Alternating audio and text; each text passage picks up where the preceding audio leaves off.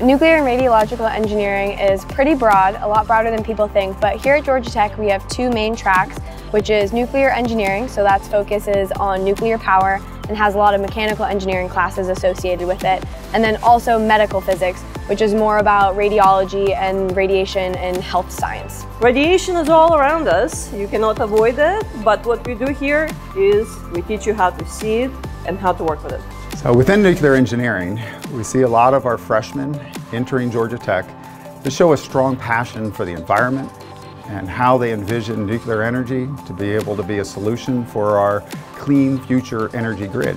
However, as students go through our curriculum, they find many other aspects of nuclear technology that they're interested in.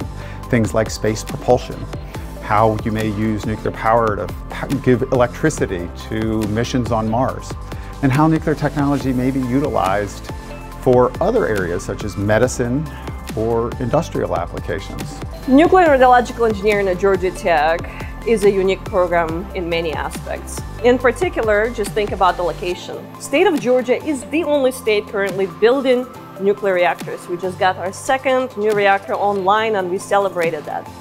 So state of Georgia is the leading state in nuclear energy. But we don't stop there. Look behind me. This machine is the only machine on university campuses that is a real medical grade linear accelerator. And our students don't just get to look at it, they come and they use it. It's actually incredibly easy to do undergraduate research here. I emailed one of the professors here just before the break last semester, not even quite sure what I wanted to do, I just knew I wanted to work with her.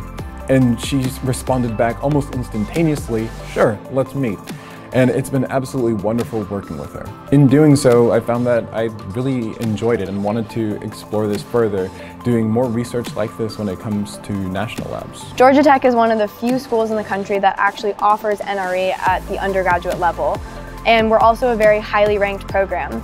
Um, we also have a very strong alumni network and we've had many companies come back onto campus wanting Georgia Tech students specifically. The nuclear industry is also growing quite rapidly right now, which means that there are lots of opportunities for our students as they graduate as well as good job security in the long term.